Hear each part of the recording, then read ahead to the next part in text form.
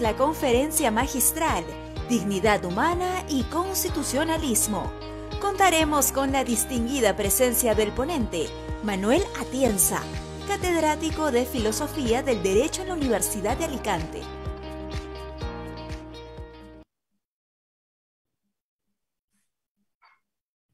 Buenas tardes a todas y a todos los presentes. En nombre del Centro de Estudios Constitucionales, les damos la bienvenida a la conferencia magistral Dignidad Humana y Constitucionalismo. Les recordamos a las y a los participantes que este evento está siendo transmitido en vivo por las plataformas digitales del SEC. Enseguida, para las palabras de bienvenida, nos complace presentar al magistrado del Tribunal Constitucional y director general del Centro de Estudios Constitucionales, Helder Domínguez Aro. Adelante, doctor. Gracias por acompañarnos con su distinguida presencia. Bien.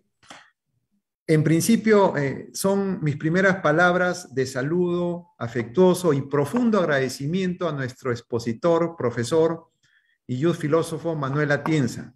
Reciba pues del Tribunal Constitucional Peruano nuestro saludo eh, y agradecimiento a un maestro que siempre nos ha acompañado eh, aquí en Perú. Gracias, profesor. Es un gran honor tenerlo.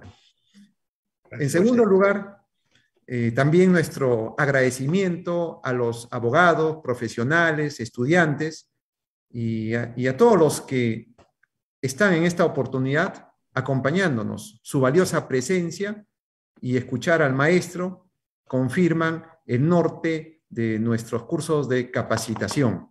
A todos ustedes, nuevamente, el agradecimiento del Tribunal Constitucional Peruano. Y permítame, profesor, eh, antes de darle paso, eh, señalar que eh, estamos iniciando una nueva etapa en el Centro de Estudios Constitucionales, un órgano académico de investigación, capacitación y publicaciones del Tribunal Constitucional. La política institucional es de puertas abiertas, fomentando el debate y conocimiento sobre temas constitucionales, derechos humanos, de democracia constitucional y de las demás materias afines en la línea de favorecer la formación de ciudadanos integrales y demócratas. Vale decir, contribuir a, forjar el sentimiento y la cultura constitucional. En ese horizonte eh, es oportuno eh, la realización de esta actividad sobre un tema interesante, un punto de referencia para la comunidad académica, para la comunidad profesional. Es el tema de la dignidad humana. Y va de la mano, seguramente, eh, este, este, esta categoría fundamental de lo que nuestro expositor señala, y la filosofía del derecho cuya finalidad es transformar, es la transformación social. Entonces yo creo que eh, abordar, debatir, analizar la dignidad humana, es decir, el reconocimiento como seres humanos, constituye la pieza fundamental para ir construyendo no solamente el edificio jurídico, sino también eh, el edificio societal de toda la comunidad como punto de inicio y punto de encuentro como es la persona.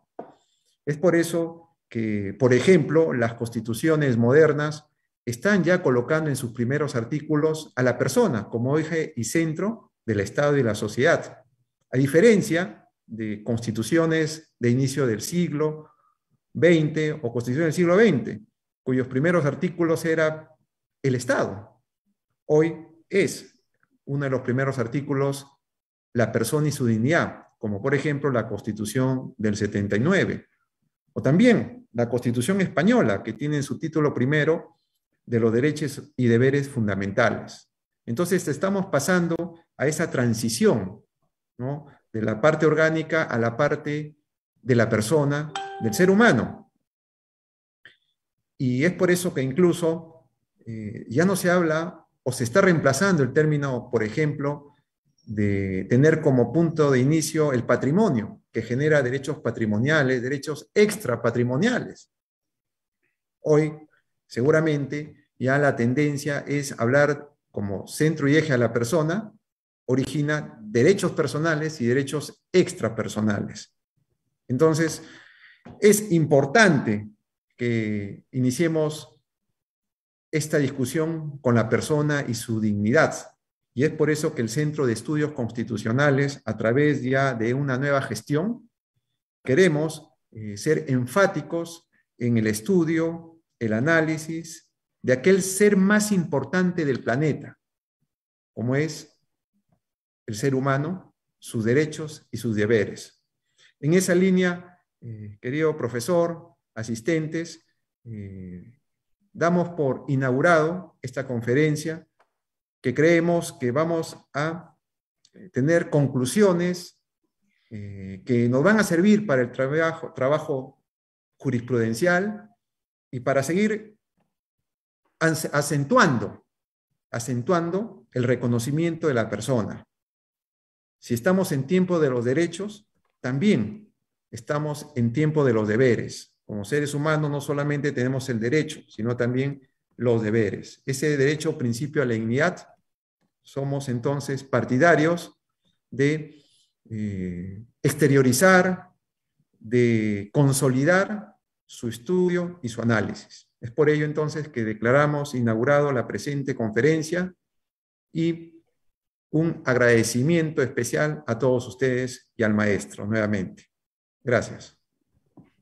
Agradecemos las valiosas palabras del magistrado Domínguez Aro que reflejan justamente el ánimo y la voluntad de seguir promoviendo el sentimiento y la cultura constitucional, en sus propias palabras, en la comunidad jurídica y la ciudadanía en general. A continuación, doy pase en la moderación a la doctora María Candelaria Quispe Ponce, directora académica del SEC y asesora jurisdiccional del Tribunal Constitucional, Doctora, tiene toda nuestra atención. Gracias por guiarnos en el desarrollo de esta conferencia magistral.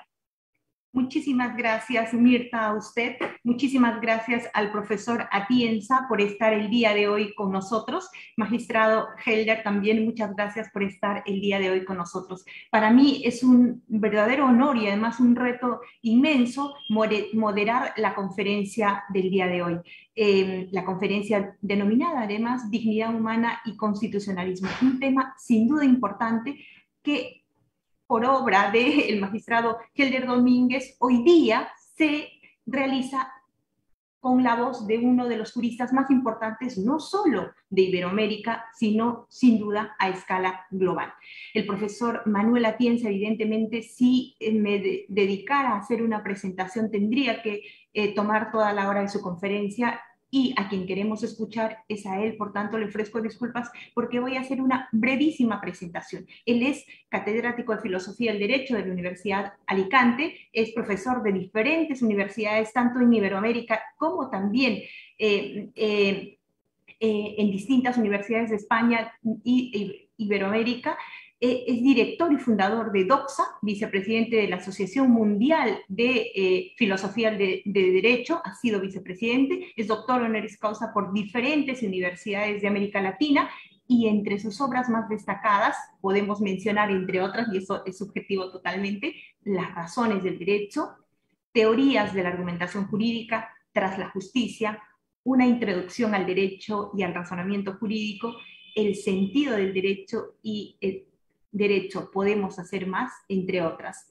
Para nosotros, para el Centro de Estudios Constitucionales, es un gusto contar con la presencia de un académico tan importante con quien iniciamos, como bien señalara nuestro magistrado, una gestión que tiene por finalidad precisamente proteger los derechos fundamentales. Profesora Tienza, le dejo en el uso de la palabra por 45 minutos. Adelante. Muchas gracias, al Centro de Estudios Constitucionales del Perú por esta invitación. Disculpas porque hemos empezado algo tarde, pero siempre surgen eh, dificultades técnicas. Afortunadamente se han superado. Y muchas gracias en particular al magistrado Elder Domínguez y a mi amiga María Calendaria eh, Quispe. Candelaria, Candelaria Quispe. Eh, bueno, cuando Candelaria me propuso precisamente, me invitó eh, para esta conferencia sobre el tema del constitucionalismo, yo le sugerí la dignidad humana vinculada al constitucionalismo porque me parece que efectivamente es una cuestión central y también porque estaba yo entonces a punto de publicar un libro sobre la dignidad humana que precisamente acaba de salir, se titula así, sobre la dignidad humana, y lo que yo voy a hacer aquí en estos 45 minutos realmente es eh, fundamentalmente un resumen de ese libro. Y previamente, por conectarlo con el tema del constitucionalismo, aunque es prácticamente obvio, como todos ustedes saben, cuando se habla de constitucionalismo uno puede referirse bien a un nuevo fenómeno, al cambio que ha tenido lugar en todos nuestros ordenamientos jurídicos en las últimas décadas y que hacen pues que eh, nuestros derechos hoy sean considerablemente distintos a lo que eran pues, hace medio siglo o algo así. Fundamentalmente consiste en que como parte del derecho tenemos la Constitución, que ya no cumple una función sencillamente inspiradora, sino que es derecho obligatorio. Es el criterio para dotar de validez el resto de las normas jurídicas y precisamente en todas o casi todas nuestras constituciones ahora y en los textos internacionales de derechos humanos, y si no explícitamente se entiende que implícitamente aparece la dignidad humana en un punto, en un eh, lugar de particular relieve. De alguna forma, lo que viene a decirse en todos estos textos es que el fundamento de todos los derechos son, es la dignidad humana. Y naturalmente, el, el estar de acuerdo no infringir los derechos fundamentales es el criterio fundamental para poder dotar de, validez a cualquier norma infraconstitucional de nuestros ordenamientos jurídicos.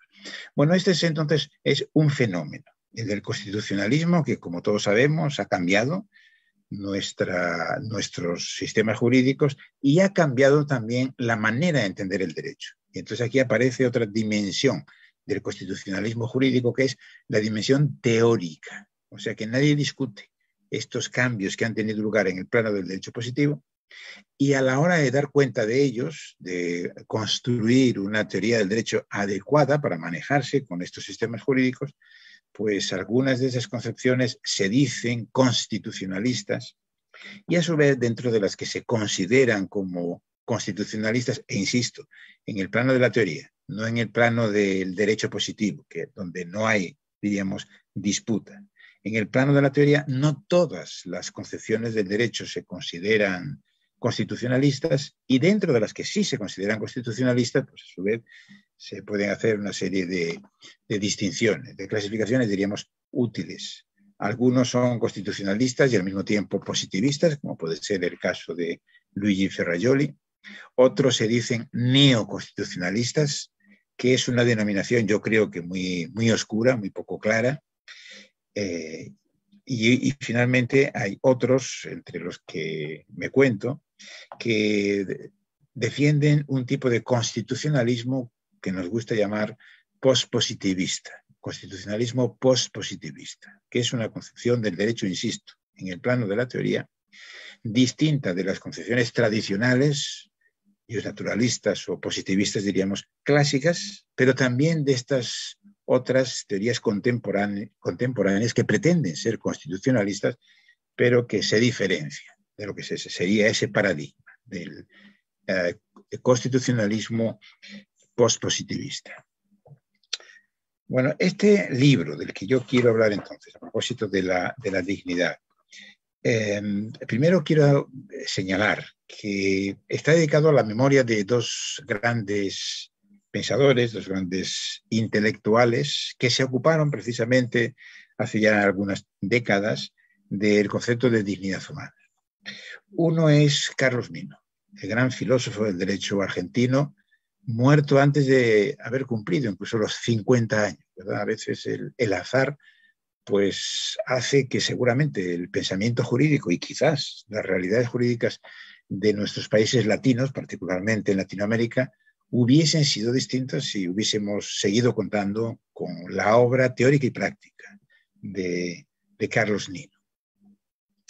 Carlos Nino, por ejemplo, en su gran libro sobre ética y derechos humanos, a la hora de fundamentar los derechos humanos introdujo como uno de los tres principios que, que reconocía el de dignidad humana, aunque él lo presentó de una forma que no coincide con lo que es la idea, hoy diría, más usual de la dignidad humana que se vincula con la segunda formulación del imperativo categórico kantiano, o sea, con la idea de que el ser racional, decía, decía Kant, los seres humanos deben ser tratados como fines en sí mismos y no meramente como, como instrumentos. Y el, otro gran pensador y verdaderamente gran persona a, que yo, a cuya memoria dedico el libro es Javier Muguerza, que ha sido el filósofo de la moral en España más importante de, las últimas décadas y que también se interesó por la dignidad humana y en particular él estudió eh, cómo había que entender esa formulación kantiana, lo que él llamó el imperativo de los fines, eso de no instrumentalizar a otro. Y entonces le daba una versión negativa es decir, que en lugar de una obligación positiva, más bien lo que, lo que, como habría que interpretarlo, era como una obligación negativa, de no hacer ciertas cosas, de tal manera que en algún momento él vino, vino a sintetizar su concepción de, la dignidad y en el fondo de la ética como una especie de mandato de, de, derecho y de obligación a decir que no, a negarse, digamos, a ciertos actos por considerar podríamos decir que estaba en contra de la dignidad. Bueno, la génesis de este libro pues eh, transcurrió a lo largo de una década más o menos, y como pasa a veces las cosas que uno va, va escribiendo, pues fueron surgiendo primero como artículos independientes, como peticiones para participar pues, eh, en números de revistas o en números especiales sobre, sobre la dignidad humana, que tenían que ver con la dignidad humana. Y fíjense que esto es algo bastante curioso, aunque a veces no, no reparamos en ello. Y por lo siguiente, porque la dignidad humana es un concepto bastante nuevo. O sea, lo que hoy entendemos por dignidad humana es algo muy reciente que prácticamente se retrotrae a la Declaración Universal de Derechos Humanos de, la ONU. Anteriormente se había hablado naturalmente de dignidad, pero no con el sentido que hoy le atribuimos. Y yo diría que de manera fundamentalmente retórica.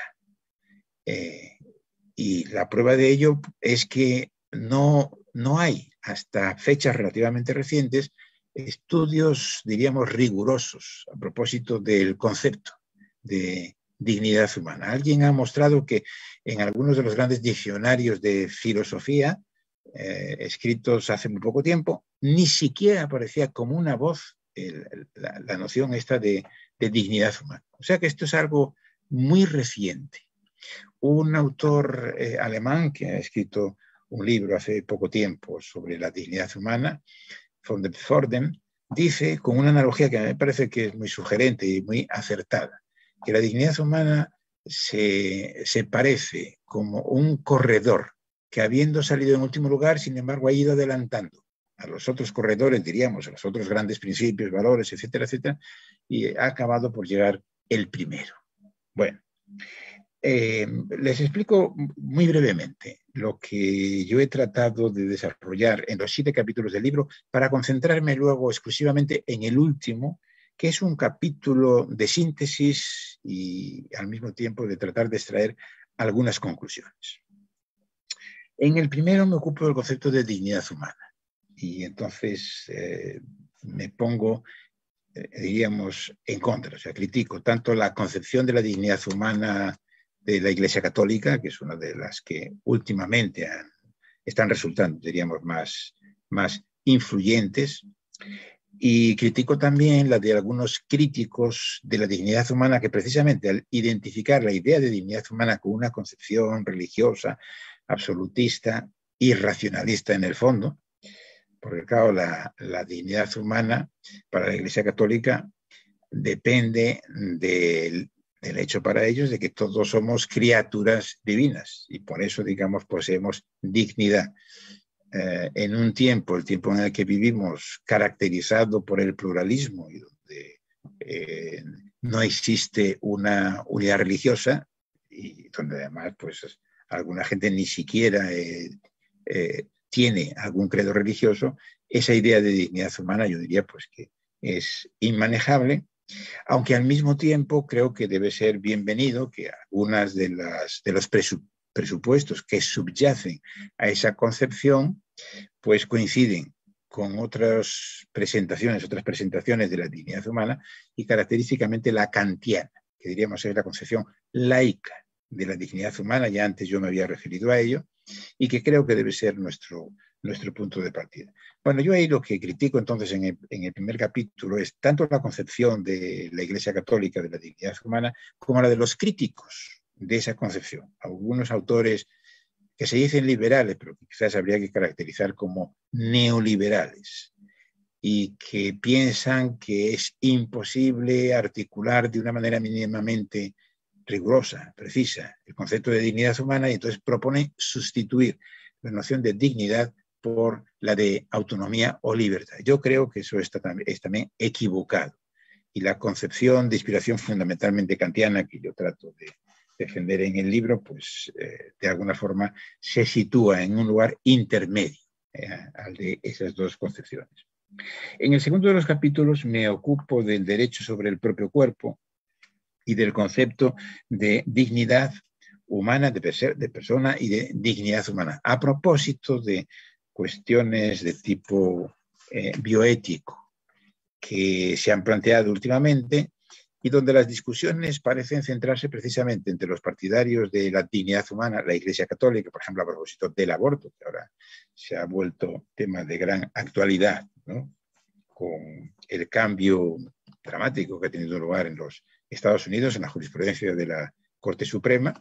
O sea que ahí los partidarios de la despenalización del aborto en algunos casos defenderían la autonomía, la autonomía de la mujer, mientras que los que están en contra del aborto pues se apoyarían en la idea de la dignidad humana y lo mismo puede decirse a propósito de otros de los grandes temas de la bioética que se han discutido últimamente, como por ejemplo pues, la cuestión de la eutanasia o la cuestión de la maternidad subrogada, etc.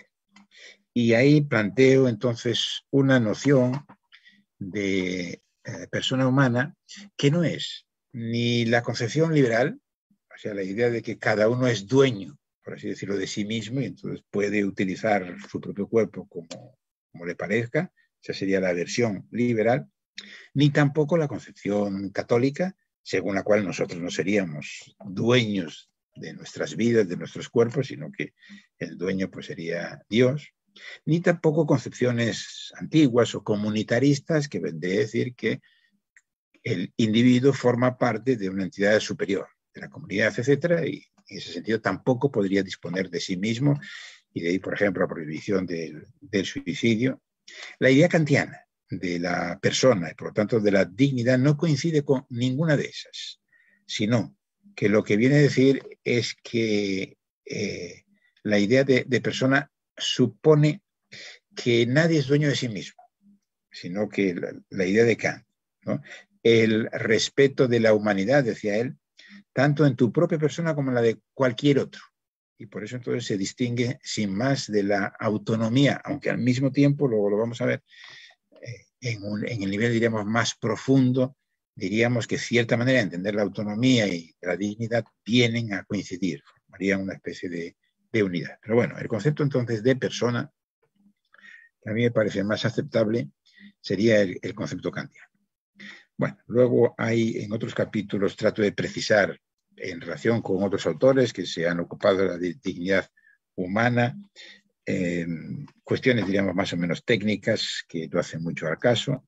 Quizás sí sea eh, de algún interés señalar otro de los capítulos en donde trato de analizar el concepto de dignidad en la Constitución española.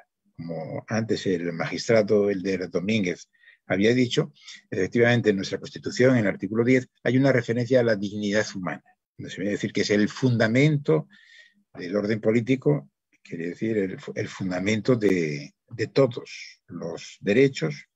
Y entonces ha habido una serie de discusiones sobre si verdaderamente la dignidad es en sentido estricto un derecho, si al otorgarle un carácter absoluto, entonces, ¿qué ocurre cuando el derecho a la dignidad entra en conflicto con otros derechos, si verdaderamente se pueden ponderar o no. Bueno, cuestiones de este tipo me los planteo ahí y les doy una solución a las que me referiré, me referiré luego a propósito del, último de los capítulos, o sea que lo dejo únicamente ahí, diríamos, eh, señalado. Y luego también me ocupé de, en este libro de la contraposición entre una concepción de la unidad del valor, es la de Kant, pero también es la de Dworkin, toda la, obra de Dworkin, particularmente la última, su última gran obra, Justicia para Erizos, se basa en una noción de dignidad que es muy afín a la kantiana, la idea de tratar a todos con la misma consideración y respeto. Y esa idea de la unidad del valor, recuerden que por eso utiliza la metáfora ¿no? del, erizo eh, Dworkin, refiriéndose a una famosa contraposición de Isaías Berlín. ¿no? Berlín venía a decir que los intelectuales podían clasificarse en intelectuales erizos o intelectuales zorros. intelectuales erizos son los que tienen una sola idea, pero una gran idea muy importante y todo, toda su obra, digamos, gira en torno a ella mientras que los intelectuales zorros son los que van variando, eh, moviéndose de aquí para allá y buscando de una manera más o menos oportunista, pues la solución a los diversos problemas, Y entonces lo de la idea de los zorros se, vincula, se vincularía con la idea del pluralismo de los valores y el antagonismo de los valores, mientras que lo que defiende Dworkin es la unidad de los valores. Bueno, em, trato de entrar en esta discusión entre Dworkin y precisamente Isaías Berlín, que es el máximo representante de lo que entendemos por pluralismo, el pluralismo valorativo. Eh, en, los últimos, en los últimos tiempos, para mostrar que, en mi opinión, las diferencias no son eh, excesivamente profundas y que, en cierto modo, además, es posible llegar a algo así como, como una síntesis entre las dos concepciones. Y ya voy, porque eh, me parece que si no, me extendería demasiado en otras cosas y se perdería lo que es el, el centro de, lo que quiero que sea mi exposición. En el último capítulo que titulo Las dimensiones de la dignidad humana, que es, como les digo, ahí es donde trato de, presentar una teoría general de la, dignidad humana y abordo lo que me parece que son los, problemas fundamentales y sugiero eh, algunas soluciones. Bueno, en primero, el, núcleo normativo de la dignidad humana lo anticipo. Mi formulación sería esta, que lo que viene a decirnos la, dignidad humana, establece desde el punto de vista normativo es el derecho y el deber que tiene cada uno de los agentes morales de desarrollarse a sí mismo como persona y naturalmente son posibles distintas maneras de, desarrollarse, distintas formas de, vida buena, aunque no todas, ¿no? cualquier proyecto de vida, diríamos, es aceptable. No lo sería alguno que choque precisamente contra los derechos fundamentales y que atente contra la dignidad humana. Pero entonces, referido a uno mismo, la dignidad humana implica esto, el derecho y el deber, y el deber que tenemos cada uno de desarrollarnos, de vivir, diríamos, nuestra vida. Y hay muchas maneras de vivirla, aunque no todas diríamos, vale, hay en esto ciertos límites. Pero además, la dignidad también tiene una vertiente en relación con los demás. O sea, además del derecho y deber hacia uno mismo, está también el deber hacia los demás, de procurar que también puedan desarrollar un tipo de de vida, de vida digna. O sea, el desarrollo al máximo de, sus capacidades. De alguna forma, digamos, entonces enlaza lo que, con lo que eh, usualmente llamamos los deberes de solidaridad. La idea de que la dignidad humana, vean que entonces no solamente es autonomía, porque no solamente son derechos de uno, sino también obligaciones que uno tiene hacia sí mismo, pero sobre todo obligaciones hacia los demás, la idea de solidaridad. Bueno, para cómo presentar ese concepto de, dignidad humana. Bueno, yo arranco de un libro de un autor que hace algunas décadas era muy famoso, Ernst Bloch, y se, podía, solía poner como ejemplo eh, curioso, se decía, de un autor marxista, pero que al mismo tiempo defendía el derecho natural. Y este Ernst Bloch escribió un libro que se llamó Derecho Natural y Dignidad Humana. Y entonces él presentaba un concepto de, de dignidad en términos a veces metafóricos, no del todo claros, pero yo diría que bastante sugerentes. Y a donde me lleva a mí esto es a sostener que la dignidad humana nos lleva directamente al socialismo. Entonces hay que precisar que entendemos por socialismo. No me estoy refiriendo al así llamado eh, socialismo del, siglo XXI, ¿verdad? vigente en la ideología de algunos partidos políticos latinoamericanos, sino socialismo en un sentido más, más amplio, diríamos más tradicional, lo que, lo que en Europa hemos entendido siempre, seguimos entendiendo, como socialismo democrático. Entonces, el socialismo yo creo que consiste fundamentalmente en la defensa de tres ideas. La idea de la igualdad, o dicho de otra manera, la idea de que solamente está justificada una sociedad en donde las desigualdades existentes entre la gente no sean excesivamente profundas. El socialismo no implica uniformidad, no implica que todos tengan, por ejemplo, que, tener, que gozar exactamente, diríamos, de los mismos bienes, etcétera, pero sí que implica que no puede haber grandes, grandes diferencias. En segundo lugar, junto con la idea de, igualdad, que es igualdad económica y también igualdad política, igualdad en todos los, aspectos, diríamos, de, de la vida, una idea de comunidad, o sea, el no ver a otro, que es a lo que nos lleva el sistema capitalista, del libre mercado, etcétera, como en términos de, puro egoísmo y en términos sencillamente instrumentales, sino la idea de, cooperación, lo que no quiere decir estar completamente contra el mercado, contra una sociedad de mercado, pero sí implica naturalmente ponerle límites estrictos en muchos aspectos, porque si no, sencillamente sería imposible la igualdad y sería imposible la no instrumentalización de, los seres humanos, segundo, segundo aspecto. Y el tercero es una idea de la autonomía, de la participación, también, diríamos, que no consiste sencillamente en la libertad negativa, la libertad tradicional del liberalismo, que consiste en que haya un ámbito de nuestra vida, de nuestra actividad en la que no entren los demás. Que por cierto, esto, es algo naturalmente valioso y de lo que no se puede prescindir. Pero la idea es que la libertad y la autonomía debe significar algo más. No solo esa libertad negativa, sino también una libertad positiva. Una libertad para participar en las cosas comunes, en las, eh, las cuestiones públicas. Y me parece que estas son en realidad las tres, eh, las tres grandes dimensiones de, de, la dignidad. Por eso diría que en términos ideales, y por supuesto que cuando hablamos de dignidad, pues no nos estamos refiriendo a un valor que efectivamente se ha realizado en nuestras sociedades, en nuestro sistema jurídico. Estamos refiriéndonos justamente a un ideal, como decía precisamente en su blog, no una idea de algo utópico en el mal sentido de la expresión, sino algo que, no existe en el sentido que no está dado, pero que podría existir. O sea que contamos con las condiciones, o sea, los conocimientos, las capacidades, la riqueza, como para que fuera posible. Él decía en alguno de esos textos una especie como de, de ventana abierta.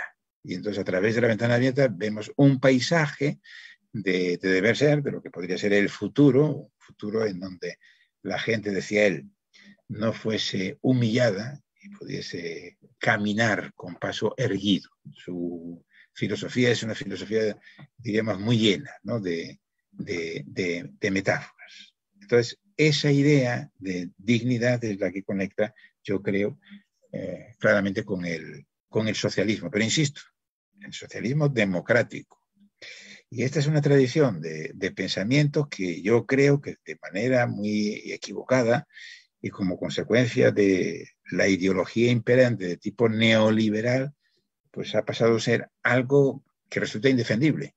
Y entonces los que, por ejemplo, en Latinoamérica, los que de alguna manera uno diría que serían socialistas o aproximadamente que tienen las mismas ideas que yo pueda tener sobre cómo organizar una sociedad, sin embargo ellos evitan autocalificarse de socialistas porque les parece que el socialismo es incompatible con, la democracia. Naturalmente los países europeos, yo diría que los más avanzados, los que han logrado la construcción de sociedades más decentes, digamos los países del norte de Europa, pues son así, lo han logrado precisamente porque han tenido gobiernos de ese tipo, de socialismo eh, democrático. Bueno, entonces, eh, me parece que esta noción de, dignidad que yo trato de, defender, que insisto, tiene una inspiración fundamentalmente kantiana, pero no solo, también tiene esa perspectiva socialista y, por cierto, a los socialistas naturalmente se les debe la introducción de la dignidad en el, derecho constitucional, en las constituciones, por ejemplo, la de, Weimar, que es donde aparece la, por lo menos el, eh, diríamos, las primeras formulaciones de lo que hoy entendemos por dignidad, los derechos sociales, etcétera, etcétera, vía inspirado por los movimientos de los partidos socialistas. Bueno, para defender esa idea de, dignidad hay una dificultad en el pensamiento, diríamos, ético contemporáneo, que consiste en que muchos filósofos, filósofos del derecho, etcétera, se dicen relativistas. Hay que precisar que hay que entender por relativismo, pero concretamente el suyo sería un relativismo metaético, o sea, que ellos piensan que naturalmente su defensa, imaginemos, de los derechos fundamentales o de la democracia es una, es una defensa que, que no admite dudas, sobre eso no dudan, pero sobre lo que dudan, que son relativistas, es sobre si esas creencias, esas ideas, estos sentimientos que ellos tienen en favor de los derechos fundamentales o de la democracia, se pueden justificar racionalmente. Y ellos piensan que no. Y por eso, digamos, entonces son lo que se suele llamar no cognoscitivistas. A mí me parece que para, para entender el concepto de, de dignidad humana, para articularlo en el proyecto del constitucionalismo, para que sea operativo y juegue el papel progresista que tiene que jugar en la interpretación de, nuestros derechos, se necesita partir de un objetivismo moral que yo califico de mínimo. O sea, que es un tipo de objetivismo que consiste en decir, existen razones que nos permiten hablar en términos objetivos de estas cuestiones.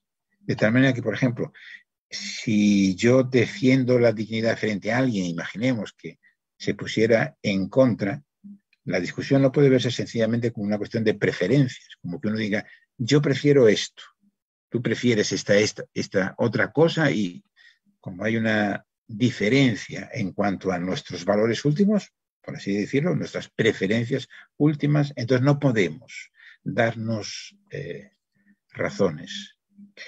Y esto es lo que me parece a mí que es equivocado. Por supuesto que yo no voy a poder convencer muchas veces a la persona que se sitúa enfrente, digamos, a, un xenófobo a un machista o, algo así, alguien que no respete la dignidad humana.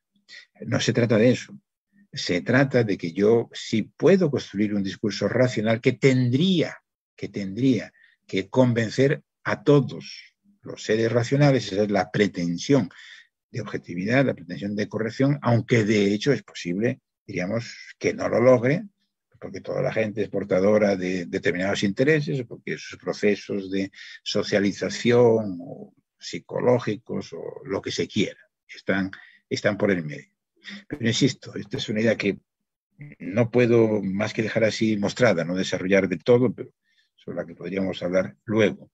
Me parece que eh, un objetivismo moral mínimo es presupuesto necesario para poder hablar propiamente de, dignidad. Ahora, antes les decía, lo de la, historia del concepto de dignidad es muy reciente. a veces nos retrotraemos muy atrás, ¿verdad? Eso suele decir, pues, Cicerón ya habló de la dignidad, dijo, la dignidad que comparten todos los seres humanos a diferencia de los animales. Bueno, esta es una idea, digamos, que aparece en muchos autores eh, de la antigüedad clásica.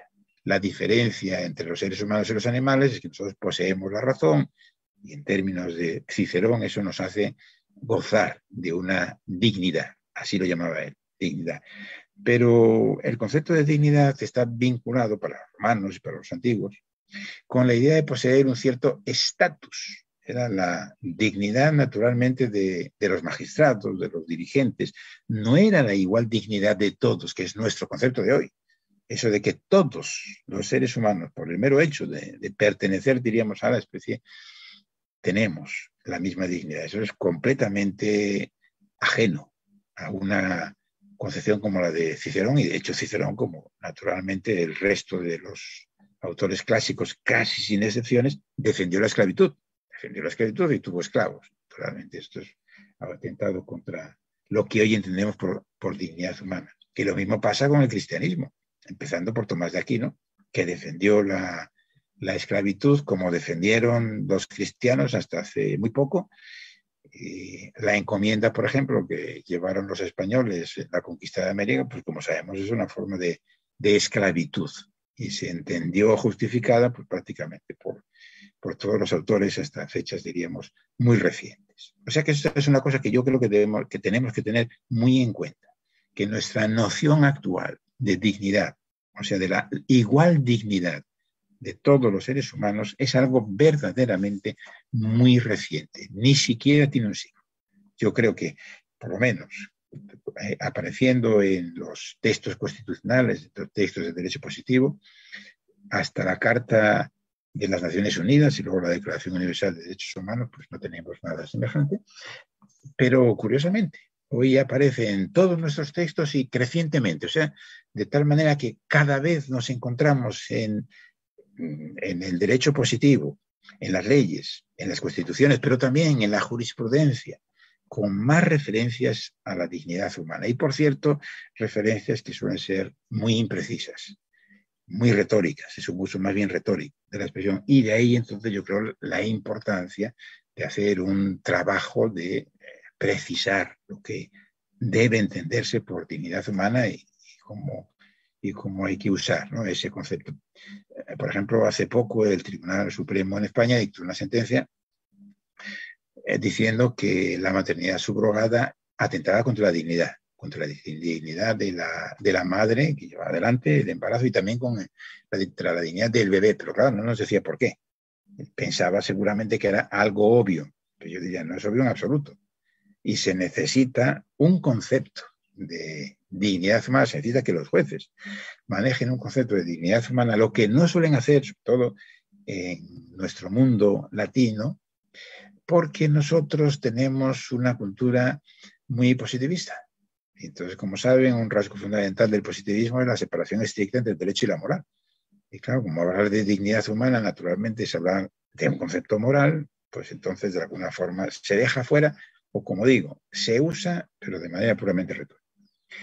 Bueno, uno de los conceptos de, las eh, cuestiones disputadas y verdaderamente difícil sobre la dignidad es la de a quién puede atribuirse dignidad y concretamente si los animales e incluso otras entidades, la naturaleza, pues también, también eh, digamos, son entidades que poseen dignidad y como consecuencia eh, derecho. Eh, como saben, en Latinoamérica y como consecuencia de que en algunas de las constituciones recientes pues se hablan esos términos, se hablan términos de los derechos de la naturaleza y la dignidad, etcétera, etcétera, pues tenemos incluso recientemente alguna jurisprudencia que, que efectivamente habla no solamente de derechos de los animales, de que los animales entonces poseen dignidad, lo cual es una cuestión diríamos, compleja, pero claro, muchísimo más compleja, en mi opinión, es atribuir derechos y dignidad a la naturaleza, a un río, por ejemplo, a un paisaje y, cosas así. Sin entrar en pormenores, porque es imposible, pero mi tesis al respecto es que de dignidad plena, en sentido pleno, solamente se puede hablar a propósito de, de los seres humanos. Quizás se podría hablar de una dignidad incipiente, de derechos, pero en un sentido también que no es equivalente a los derechos fundamentales que atribuimos a las, a las personas humanas, a propósito de los animales, o mejor dicho, de algunos animales, los que están más próximos en la escala eh, biológica, ¿no? A, nosotros, como ocurre con los grandes simios, como ocurre, por ejemplo, con los delfines o con, o con las ballenas.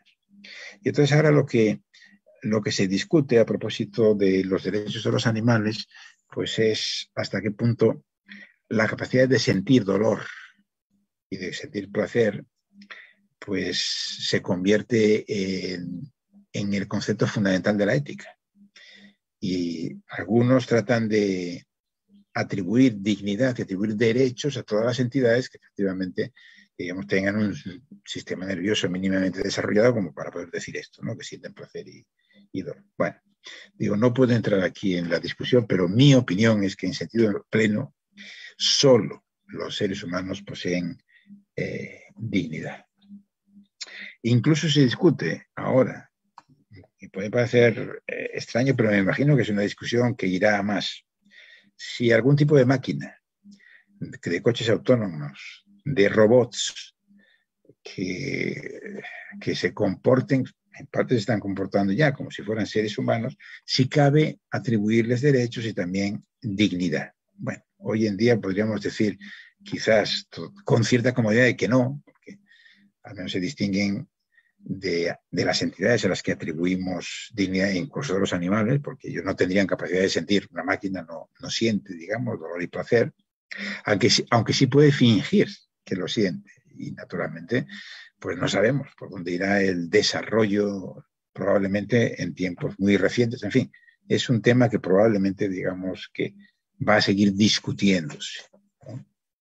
Y con eso entonces llego un poco a, a las conclusiones, que yo he tratado, me parece que, de enumerarlas. Me parece que me salen algo así como cinco conclusiones, a partir de la cual quizás podríamos entonces articular una, una breve discusión. O sea, son tesis que se organizan, por otro lado, a, propósito de tres grandes cuestiones. La primera es sobre el significado de dignidad, eh, porque hay muchas nociones distintas de dignidad.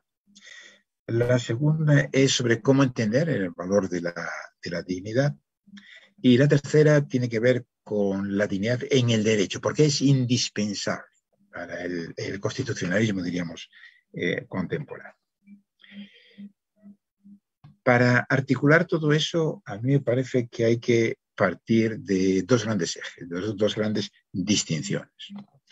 La primera consiste en entender el concepto de dignidad como un concepto puente. Eso quiere decir que hablamos de dignidad, me parece a mí, estoy pensando en la dignidad fundamentalmente desde el punto de vista jurídico, si mi discurso fuese esencialmente moral, a lo mejor tendría que variar algo, pero desde el punto de vista jurídico, diría, cuando hablamos de dignidad, a veces lo que estamos eh, planteándonos es el problema de qué características tiene que tener una determinada entidad para decir de ella que, que tiene dignidad, o dicho de otra manera, que es persona y que por lo tanto se le atribuyen derechos, derechos y deberes.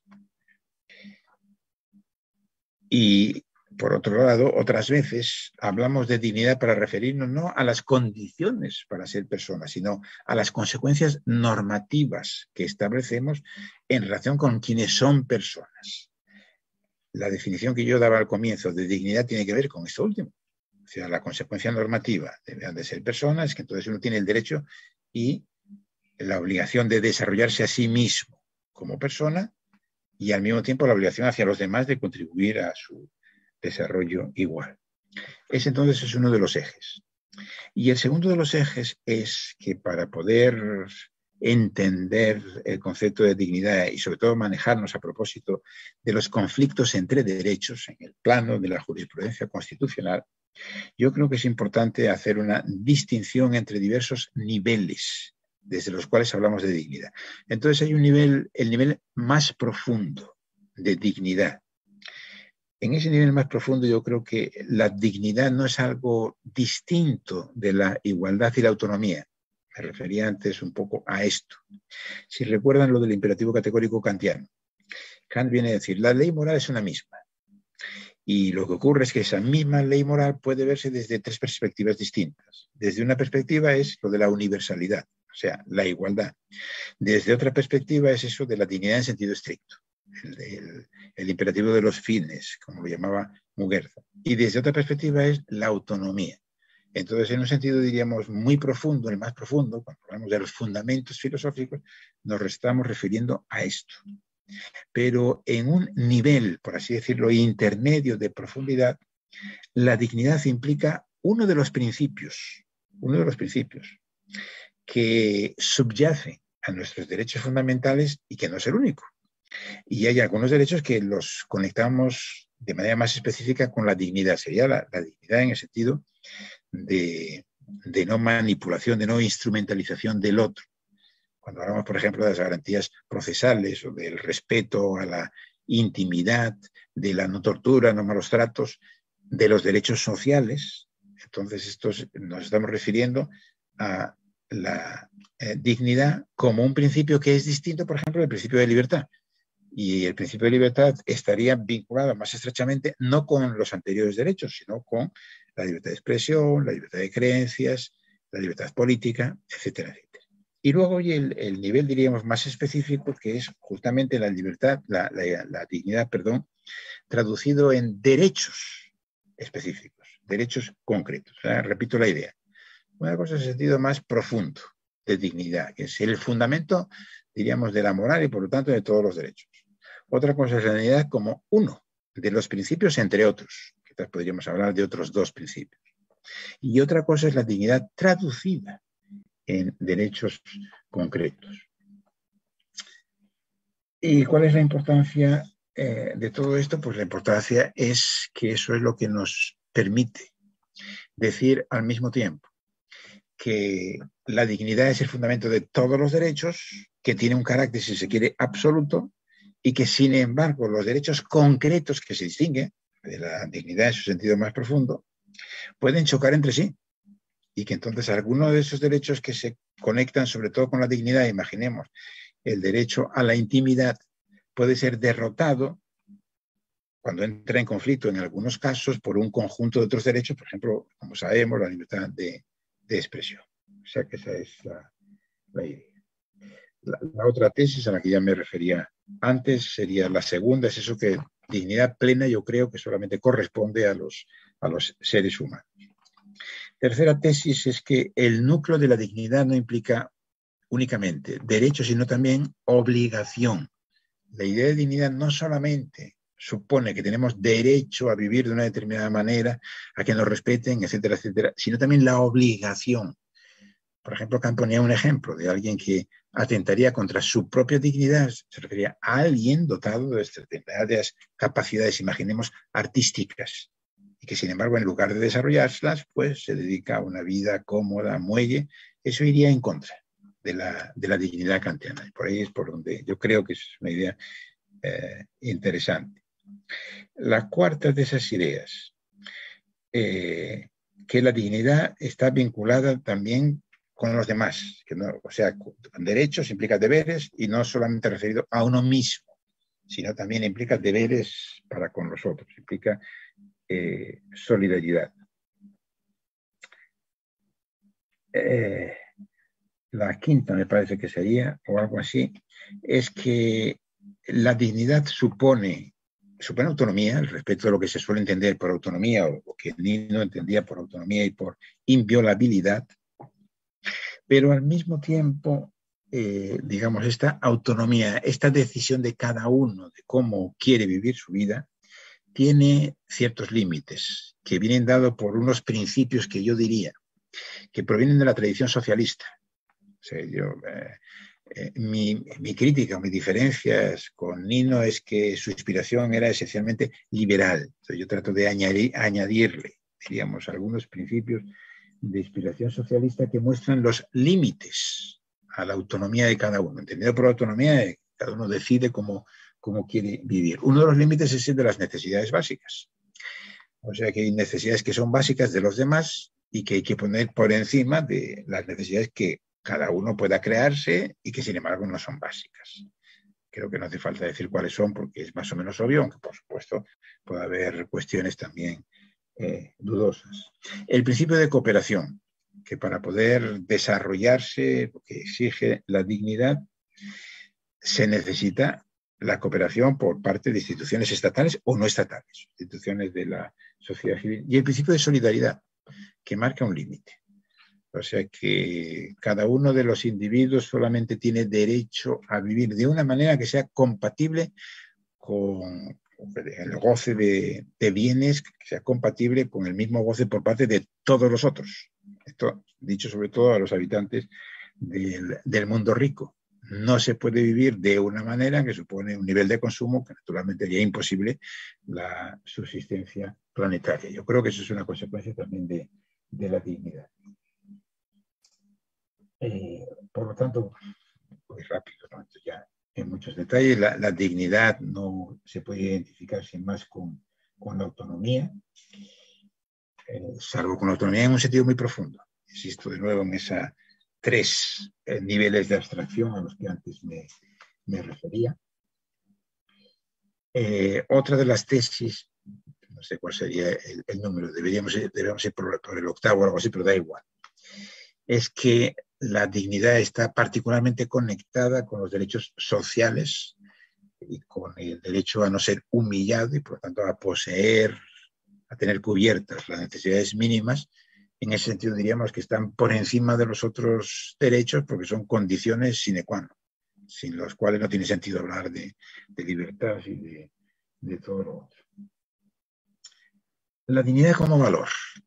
Ahora, bueno, hay en el, mundo contemporáneo hay fundamentalmente dos concepciones, como antes les decía, una es la concepción religiosa, eh, cristiana, para nosotros la de la Iglesia Católica, aunque no coincide con la de otras creencias cristianas, y otra es la concepción kantiana, por razones que yo creo que, que son obvias, puesto que nuestras sociedades son pluralistas, secularizadas, etcétera, etcétera.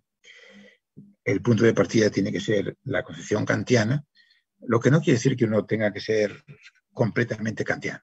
Y yo creo que esto por dos razones. Primero, porque Kant era naturalmente hijo de su tiempo y entonces él pues tenía prejuicios de tal manera que algún autor ha dicho que cuando Kant hablaba de la dignidad de la persona humana, pues en quien estaba pensando era en el hombre europeo blanco, digamos.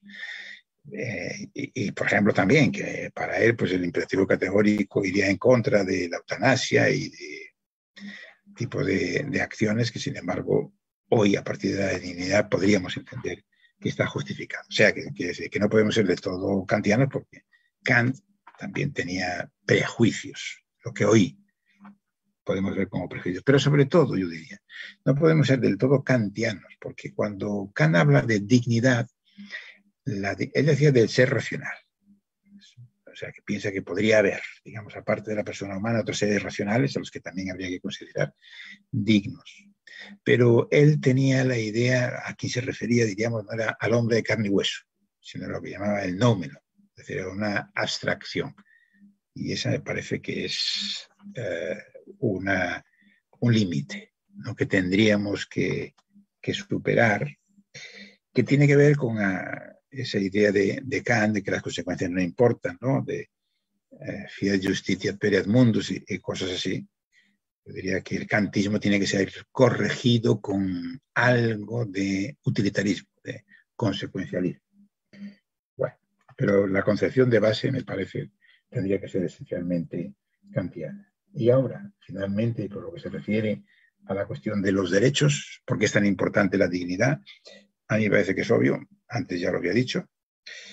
Eh, vivimos en sistemas constitucionalistas, no me estoy refiriendo únicamente al derecho constitucional, sino que eso permea todo el ordenamiento jurídico. La clave de bóveda son los derechos fundamentales y la base de los derechos fundamentales es el concepto de dignidad.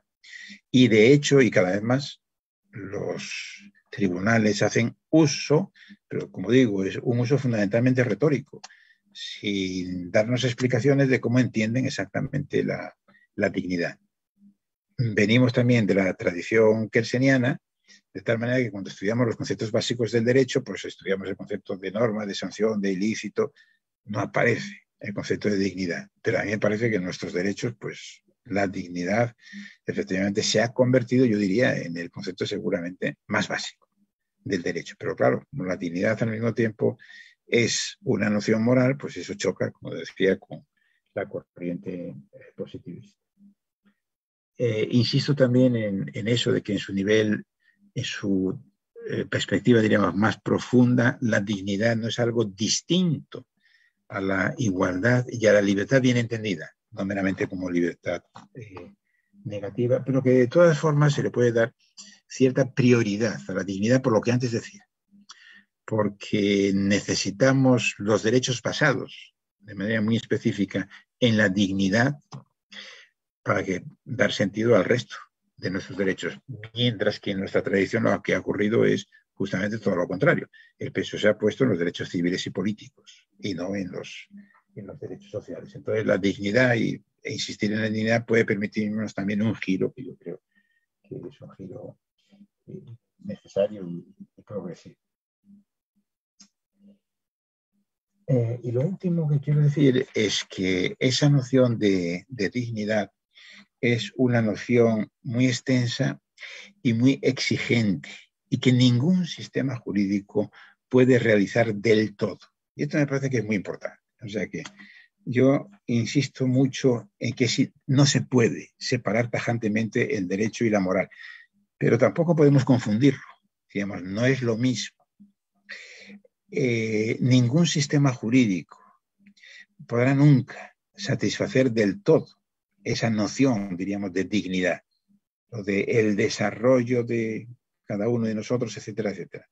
Lo que tenemos que pedir a nuestros sistemas jurídicos es algo menos naturalmente fundamental, de una inmensa importancia, y es que haga posible la vida moral. Pero hay muchos aspectos de la dignidad que no pueden depender de, del derecho. Si el derecho se empeñase diríamos, en, regular todos los aspectos que tienen que ver con la dignidad y ponernos obligaciones, sanciones en su caso, etcétera, etcétera, entonces yo creo que se incurriría en un perfeccionismo que sería equivocado, precisamente porque el derecho no es lo mismo que, la moral. Por ejemplo, los deberes de solidaridad, que naturalmente existen desde el punto de vista, de vista eh, moral. Eso debería orientar nuestro comportamiento, pero claro, lo que no podemos es pensar en un tipo de sistema jurídico que positivice esos derechos de solidaridad eh, estableciendo sanciones y, cosas así. Es decir, esto, diríamos, no lo aceptaríamos. Dicho de otra manera, que todos que nos damos cuenta e identificamos la existencia de comportamientos que van contra la dignidad humana y tenemos buenas razones, naturalmente, para criticarlos términos morales o en términos políticos. Pero eso no quiere decir que pensemos que eso tenga que convertirse, por ejemplo, en un ilícito ¿no? jurídico o en un eh, ilícito moral. Y hasta aquí hemos llegado con la dignidad. Ahora quizás tenemos un poquito de tiempo, a lo mejor, para comentar algunas cosas. Profesora Tienza, muchísimas gracias además por eh, explicarnos de manera bastante sencilla un tema que sin duda es importante, pero nada, nada sencillo. Bien, nos han llegado muchas preguntas, voy a intentar sintetizar en algunas, eh, en algunas eh, preguntas concretas. para lo cual primero quería señalar dos cosas. Este, eh, por lo que hemos escuchado al profesor Atienza, parece que el libro, el libro sobre la dignidad humana, es, eh, podría ser catalogado como un punto de llegada de todo el trabajo intelectual, ¿no? con un punto de llegada de además de un, eh, de un em, jurista que está pensando, al igual que Working, o al igual que Rawls, no solo en en aquellos que tienen, sino fundamentalmente su mirada se plasma en aquellos que no tienen, aquellos, aquellos desaventajados sociales que diría eh, eh, John Rawls. Entonces, creo que es un libro que necesitamos leer y que nos eh, permite adquirir herramientas más aún en los contextos de América Latina. Evidentemente, España no es América Latina y usted conoce muy bien América Latina en el sentido de que es un continente, uno de los continentes más desiguales del planeta. Por tanto, creo que es un libro eh, que va a venir muy bien para la reflexión, porque usted lo ha señalado muy bien, hay una crítica muy fuerte hay una, hay una mirada bastante crítica hacia eh, la solidaridad o hacia sobre la base de la responsabilidad individual o sobre la base de la libertad. Y como usted muy bien ha señalado, a partir de la dignidad humana tenemos herramientas para eh, poder eh, exigir, exigir ese o a partir de la dignidad se exige ese, esa cuota de solidaridad y responsabilidad no solo por la vida de uno, sino también por la de los demás, eh, por la de las demás personas que cohabitan esta, este, este planeta. Bien, entonces creo que es un, libro que necesitamos leer. Bien. Las preguntas eh, que formulan mm, son varias en realidad, pero como le había señalado, voy a intentar sintetizar en algunas. Em, le agradecen todos y todas eh, por la conferencia. señalan que usted indicó al inicio de su conferencia que la dignidad ha corrido una carrera en la que largó última y llegó primera respecto de los demás principios. Al respecto, le formulan dos preguntas. ¿Es un principio igual que los demás en el sentido de constituir eh, un derecho autónomo con contenido propio? Eh, y la segunda pregunta, ¿corrió en condiciones de igualdad con los demás principios o, se eh, o remontó por tener una naturaleza distinta? Esas serían las primeras dos preguntas. Adelante, profesor. Bueno, son muy buenas preguntas y, difíciles de contestar. Eh, lo que yo creo es que cuando hablamos de dignidad, tenemos que distinguir eso de eh, diversos niveles de abstracción. Entonces, en el nivel, insisto, en el nivel más profundo, esto yo soy kantiano, Kant lo dice, la fundamentación de la metafísica de las costumbres, creo, y es algo eh, que no se ha remarcado suficientemente. La ley moral, diríamos, es única. Entonces ahí están, diríamos, eh, todos los grandes principios. Y los grandes principios, como sabemos, son la libertad, la dignidad en sentido estricto, la no instrumentalización del, del ser humano y la libertad y la autonomía. O sea que en este sentido diría que forman una unidad todo eso. Ahora, al mismo tiempo, yo creo que sí que hay base para atribuirle un cierto plus a la, dignidad frente a nosotros. O sea, la idea de que tenemos la misma ley moral y lo que pasa que lo, mismo, digamos, lo, podemos ver desde tres puntos de vista distintos. Y él mismo decía, bueno, que eh, para algunos propósitos pues vendría mejor el, imperativo de lo de la universalidad, ¿no? que es lo de la igualdad. Para otros, eh, desde el punto de vista decía, el de la materia, lo de la dignidad, etc. ahora, yo le atribuyo un plus a la dignidad, por eso lo que antes me he referido, porque es una manera también de compensar un desequilibrio que hemos tenido en la configuración de los derechos fundamentales y de los principios, donde hemos puesto el énfasis sobre todo, claro, en los derechos civiles y, políticos. Y si los pusiéramos en la dignidad, y por eso también me interesaba lo de la obra este de Dennis Bloch, es la idea de la, no humillación y los derechos sociales y el que todos deben gozar de un mínimo, de una satisfacción mínima de las necesidades básicas, porque si no, todo el edificio de los derechos fundamentales efectivamente pues, estaría construido en el vacío. O sea, que diríamos que hay alguna diferencia. Fíjense que incluso hay entre la dignidad y los otros principios. Fíjense que incluso hay una diferencia en nuestra manera de hablar. A mí esto es una cosa que me llamó mucho la atención en el, en el capítulo que fue antes un artículo a propósito de la dignidad en la Constitución española. Yo esto, digamos, me lo, me lo, me lo planteaba. Y es que a todo el mundo le resulta muy natural. Es decir, que la libertad por ejemplo, la libertad de expresión o la libertad de movimiento, que tiene límites y que en ese sentido, digamos, no es absoluta. En la pandemia, la libertad de movimiento, naturalmente, si se trata de garantizar la vida o la salud de la gente, se limita. Mientras que cuando hablamos de límites a la dignidad, es algo que nos choca. Nos parece que no. Es decir, mm, ¿cómo vamos a aceptar tratar a alguien de manera algo indigna? Bueno, la manera yo creo de salvar esa, esa especie de contradicción, insisto, consiste en hacer esa diferencia. Y entonces yo diría que en el nivel más profundo nunca podemos ir en contra de la dignidad. Claro, sí, si lo hacemos, nos estamos comportando de manera contraria a la moral.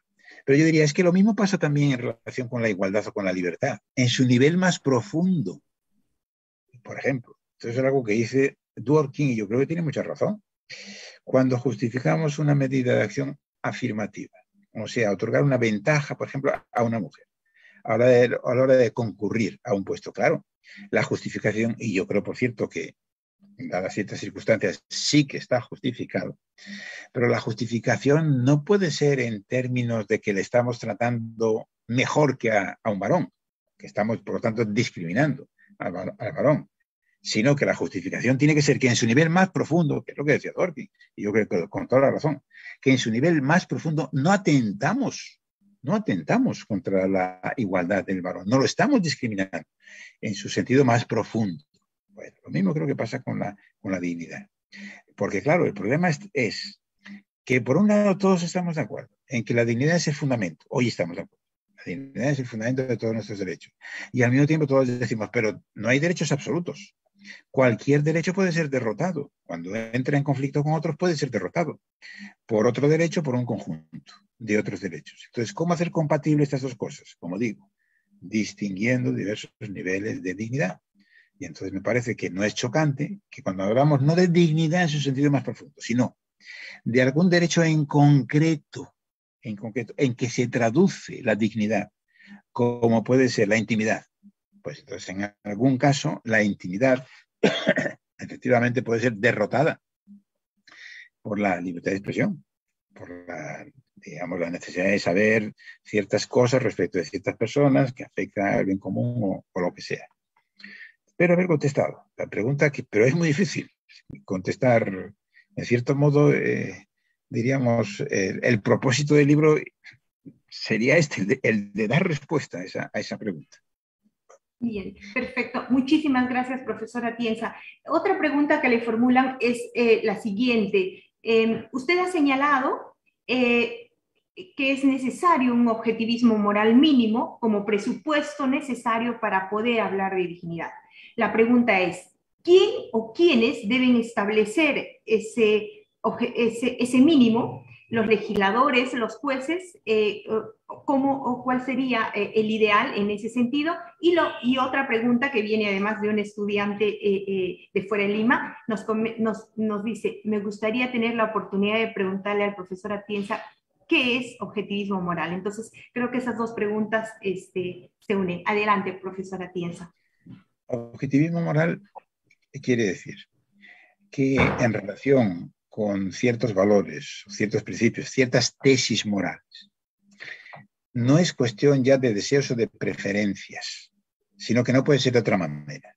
O sea, respecto de la forma en que yo eh, decido vivir mi vida. Yo podría vivirla o haberla vivido de maneras muy distintas, sin ninguna duda.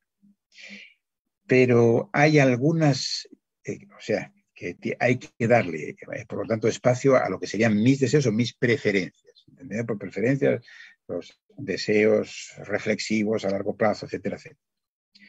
Pero mis preferencias no ocupan todo el espacio de la moral sobre algunas cosas no valen lo que yo pueda preferir. Por ejemplo, yo no puedo preferir, nadie puede preferir tratar a una persona eh, discriminándola o tratar a una persona eh, humillándola. Esto no es cuestión de preferencia, son cuestiones objetivas, no dependen, no dependen de nosotros, de lo que nosotros podamos querer, de lo que nosotros podamos pensar. Esa es la idea. Ni depende tampoco sencillamente de que haya una convención. Se no puede decir, no, hay que respetar la dignidad porque así está en la Constitución española o en la peruana, en la Declaración de Derechos, la Convención o lo que sea. Eso es lo que quiero decir. En ese sentido es objetivista eh, la moral. ¿Quién lo decide? La pregunta no es, no es quién, no diríamos cómo, naturalmente que no hay nadie el que podemos decir, este es el que va a decidir lo que sean los principios eh, objetivos. El objetivismo es un objetivismo, diríamos, de las razones. Lo que yo trato de defender es que a propósito de los problemas morales se puede discutir racionalmente. Y las tesis justificadas son las tesis que pasan la prueba del discurso racional, de la discusión racional. Esa es la idea. O sea, no es que haya algo así como objetos. Esto es confuso porque el objetivismo hace pensar ¿no? que, hubiese algo así como objetos en el mundo, cosas. Esto es la moral. No. El objetivismo para mí es el objetivismo de las razones. Entonces hay razones objetivas. Pero digamos, ¿esto cómo se resuelve? Se resuelve a través del discurso racional. No tenemos otra manera, naturalmente, de hacerlo. Pero aquí hay una diferencia muy importante. Fíjense, muy importante. Para poner un autor bien conocido de todos, Kelsen. Kelsen pensaba en aquel librito suyo famoso, What is Justice? Que hablar de la justicia. Justicia, decía él, el ideal de justicia es un ideal irracional. Puede ser lo más importante, pero no se puede discutir racionalmente sobre la justicia, o sea, sobre los valores últimos, no podríamos discutir. Eso es lo que eh, en contra del objetivismo, esa es la idea del relativismo. Mucha gente piensa que el relativismo está vinculado con la tolerancia y la democracia. En mi opinión es profundamente equivocado. No, es justamente el objetivismo. Si tú no piensas que la tolerancia es un valor objetivo, que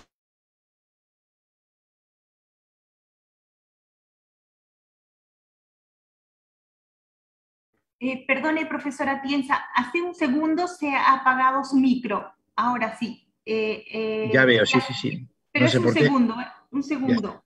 Gracias. Ya, pues eso es lo que quiero decir, es la diferencia. Claro.